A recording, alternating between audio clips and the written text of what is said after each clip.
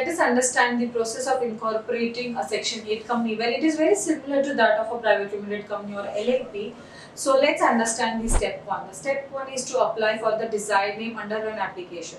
So under the RUN application, a desired name has to be applied for for the section 8 company wherein two names have to be given to the MCA and the one has the most chance gets selected. The step 2 is application for the DSC which is nothing but the digital signature certificate wherein it is required to file the forms electronically. The third step is incorporation and the application of the SPICE Plus form.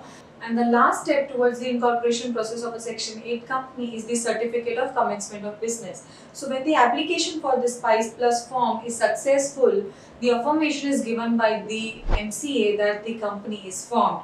And hence the commencement of the business has to be filed within 180 days from the date of this approval.